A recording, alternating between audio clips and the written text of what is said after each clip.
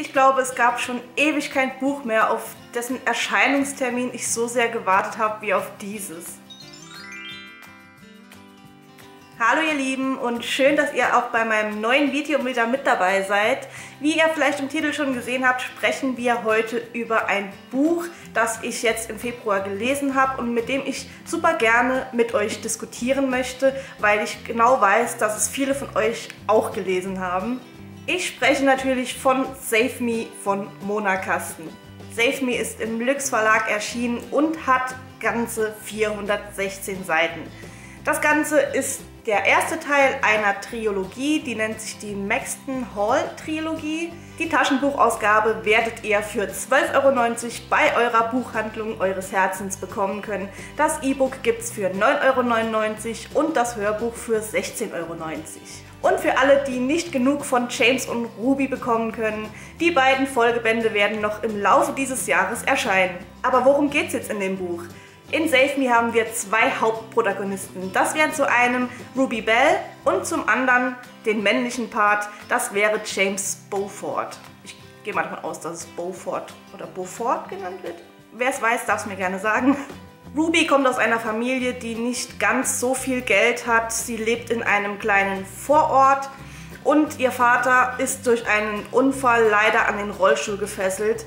Aber dennoch hat es Ruby geschafft, sich ein Stipendium für das Maxton Hall College zu sichern. Das war natürlich nicht so einfach und deshalb gibt sie jetzt richtig Gas, denn ihr größter Traum ist es, einmal in Oxford zu studieren. Und da sie einfach nicht aus so gehobenen Verhältnissen kommt, steht das Ganze erstmal nicht unter so einem guten Stern und sie muss sich quasi doppelt den Arsch aufreißen im Gegensatz zu Leuten, die einfach Geld haben. Und genauso jemand ist James. James kommt aus einer Familie, in der Geld eigentlich ohne Ende vorhanden ist. Nennen wir es einfach mal so. Seiner Familie gehört eine sehr, sehr große Firma. Es ist ein Herrenausstatter, den wirklich die Lords und Ladies von England auch nutzen. Dementsprechend hat es James nie an etwas gemangelt und dass er am Maxford College angenommen wurde, war ihm quasi in die Wiege gelegt. Als Ruby dann eines Tages etwas sieht, was sie besser hätte nicht sehen sollen, kollidieren ihre beiden Welten und nichts ist irgendwie mehr so, wie es vorher war, weil plötzlich jeder ihren Namen kennt. Eben weil Ruby mit dieser ganzen High Society, nenne ich es jetzt einfach mal, nichts zu tun haben möchte, trennt sie Schule und Familie auch wirklich ganz strikt. Sie nimmt ihre Familie nicht mit zur Schule und sie nimmt auch keine Freunde mit nach Hause. Sie möchte nichts mit den Leuten zu tun haben, sie möchte wirklich nicht auffallen, sie möchte es einfach nur schaffen, unbeschadet aus dem College rauszukommen. So nehmen die Dinge ihren Lauf und die beiden kommen sich ein bisschen näher. Allzu viel möchte ich euch natürlich jetzt nicht verraten. Ihr sollt das Buch ja auch selbst lesen und euch selbst ein Bild von den beiden machen. Aber ich möchte natürlich meine persönliche Meinung gerne noch mit euch teilen. An Save Me bin ich wirklich komplett ohne Vorkenntnisse gegangen, weil ich einfach noch nie ein Buch von Mona Kasten gelesen hatte. Aber der Schreibstil zum ersten hat mich sehr überrascht. Es war einfach locker zu lesen. Ich bin wirklich von Seite zu Seite geflogen. Es war flüssig, es war angenehm. Es war einfach so, als ob eine Freundin mir das einfach so bei Kaffee und Kuchen erzählt hätte. Kommen wir jetzt zur Story des Ganzen, beziehungsweise meiner Meinung zur Story. Ich habe dem Ganzen wirklich sehr entgegengefiebert, weil mich dieses, dieser Kontrast zwischen reich und arm oder reich und weniger reich, nennen Sie es mal so, äh, wirklich ähm, interessiert hat, wie das Ganze umgesetzt wird. Ruby fand ich von Anfang an super sympathisch mit ihrem Bullet Journal und ihren ganzen kleinen Macken, die man so nach und nach mitbekommen hat, ist sie mir so ans Herz gewachsen, weil sie einfach auch so ein bisschen zwanghaft ist. Und wenn ihr mich kennt, ich bin auch so ein zwanghafter Mensch. Also ich muss jetzt nicht meine Stifte akkurat auf den Tisch legen aber sie müssen schon so ein bisschen in einer Reihe sein und gerade an der Stelle musste ich dann wirklich sehr, sehr lachen, weil sie mich einfach gerade da und auch in anderen Situationen so an mich erinnert hat und mit meinen blöden Zwängen, nenne ich es jetzt einfach mal. James ist mir am Anfang nicht ganz so sympathisch gewesen. Da dachte ich mir auch, hm, okay, er ist so der Checker, er hält sich für den König der Schule. Mal schauen, wie sich das Ganze noch entwickelt. Und im im Verlauf des Buches hat sich es natürlich auch noch entwickelt und er ist mir eigentlich von Seite zu Seite sympathischer geworden. Da das Buch ja auch aus der Sicht von Ruby und James geschrieben ist, also da kommt dann ein Kapitel, in dem Ruby ihre Sichtweise erzählt und quasi im nächsten Kapitel erzählt James die Story weiter, aber aus seiner Sichtweise. Also da ist die ganze Zeit so ein Wechsel.